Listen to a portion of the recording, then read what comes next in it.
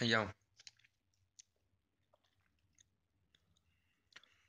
Respect has got to be the best commodity. You could never test a prodigy who's next to honor me. You wanna wreck the sovereignty of a man who seeks to rest in calm and peace, a precious oddity when put next to commonly accepted novelty. Treated like a disease of the flesh and probably should never expect apology. I have no idea how to perfect geometry, but when I went to Dollar Tree, did my shopping and left the property, I melted down a hundred pennies trying to stretch a dollar's reach. They say it's a future of storms, the weather Doppler sees, the lower economic class could be there forever, possibly with no chance of an uprise. Many women are obsessed with their pants and their cup size. Get involved with a mean man viewed through lust size. The kind of person who's the reckless vandal, do drugs type. Finally wise enough to advance to a love life. I have slightly lost my grip on happiness, although I never would have planned to give up mine. Sometimes I hate fighting, sometimes I want to slam a fist on my mental TV set. Every channel it comes like.